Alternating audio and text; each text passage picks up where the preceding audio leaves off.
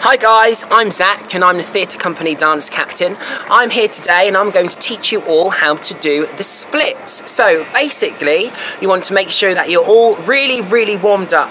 Now the best time to try this move is actually when you come out of the bath. So, if you can imagine your muscles are like Blu Tack, and if you imagine Blu Tack all hot and warm like it's been in hot water, and that'll be all gooey and soft. Whereas if you imagine Blu Tack in the fridge, and that'll be very hard and stiff. So after the bath, when you've been sitting in nice warm water, your muscles are all gooey and soft. So that's the best time to practice it. So what you want to do is, you want to put one foot in front of the other, completely parallel behind, and you also want to imagine that you've got traffic lights, or headlights, sorry, on your hips, and they've both got to be facing exactly that side. You're going to go down into a lunge. You want to make sure you're nice and warm, so have a little stretch.